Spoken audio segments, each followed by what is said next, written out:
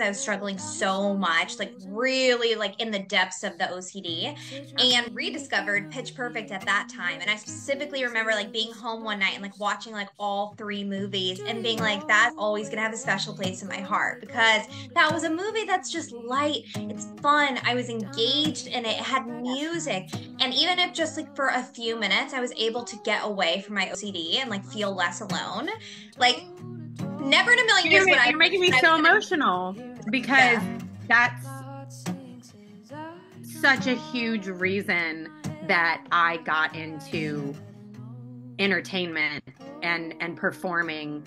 Um, but I developed like an OCD and anxiety disorder very young, like at like eight years old, and I started having panic attacks and like ruminating thoughts and scared the hell out of me.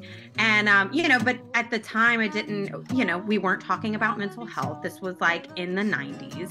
Um, and it was, it was something that was uh, just make it go away, just push it away or don't think about it. So it was, you know, put on antidepressants very young and at very high dose that worked.